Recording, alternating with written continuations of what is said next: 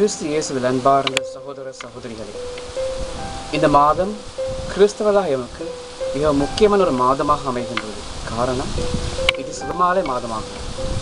திருச்சிவமாலை என்கின்ற இந்த சிவம் எமது வாழ்க்கையிலே இன்றியமையாத ஒரு சிவமாக மாறுகின்றது.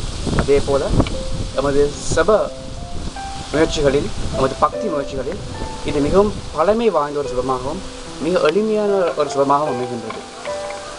இந்த சபத்தின் மூலமாக அதாவது இந்த சிவமாலை மூலமாக நாங்கள் இறைவன் இயேசு கற்பித்த சபமான விண்ணகத்தில் இருக்கின்ற எங்கள் தந்தையே என்ற சபத்தையும் அருளிருந்த மரியாய என்ற வானதூதரின் மங்களகரமான வார்த்தைகளையும் அதாவது இறை வார்த்தையை நாங்கள் சபிக்கிறது மட்டுமல்ல அதை நாங்கள் மீண்டும் மீண்டும் தியானிக்கின்றோம்.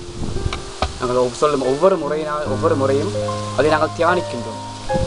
அதாவது மரியா அன்னை மரியாதைக்கு நாங்கள் சபிக்கிறது மட்டுமல்ல இறைவன் இயேசுவின் வாழ்க்கையை பணி வாழ்க்கையை நாங்கள் தியானிக்கின்றோம் அதாவது இறைவனின் மறைபொருட்கள்.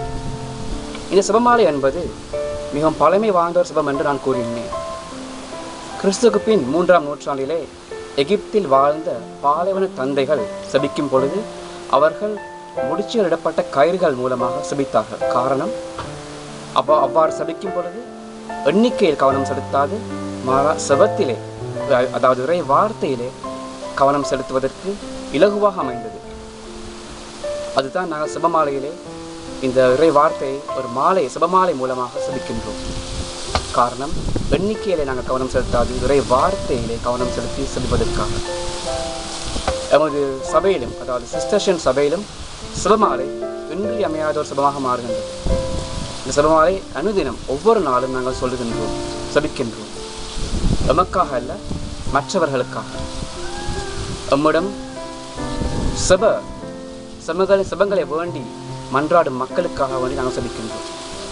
இந்த ஐப்பசி மாதத்திலே இந்த மாதத்திலே சிவமாலை என்பது நமக்கு மிக முக்கியமான ஒன்றாக அமைகிறது. ஆகவே சிவமாலை சபிக்கும் அனைவருக்கும் ஒரு சின்ன ஒரு அறிவுறுத்தல் ஒரு அன்பான ஒரு அறிவுறுத்தல். செபிக்கும் பொழுது இறை வார்த்தையை தியானித்து இறை வார்த்தையை மீண்டும் மீண்டும் சபிக்கும் பொழுது நாங்கள் கவ எங்கள் கவனம் அதிலே இருக்க வேண்டும். சில மாலையில் சபிக்கும் பொழுது இறை வார்த்தையிலே கவனம் செலுத்த வேண்டும். நன்றி.